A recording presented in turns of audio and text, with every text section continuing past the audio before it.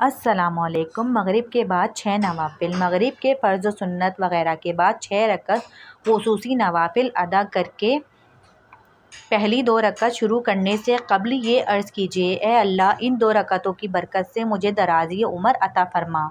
दूसरी दो रकतें शुरू करने से कबल अर्ज़ कीजिए, ए अल्लाह, इन दो रकतों की बरकत से, बलाओं से मेरी हिफाजत फरमा।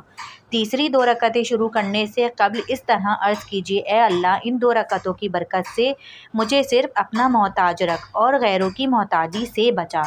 हर दो रकत के बाद इक्कीस बार कुल्हुवल्ला या एक बार सूर्य यासीन पढ़िए बल्कि हो सके तो दोनों ही पढ़ लीजिए। और ये भी हो सकता है कि कोई एक बहन या भाई बुलंद आवाज़ से पढ़ें और दूसरे खामोशी से सुने।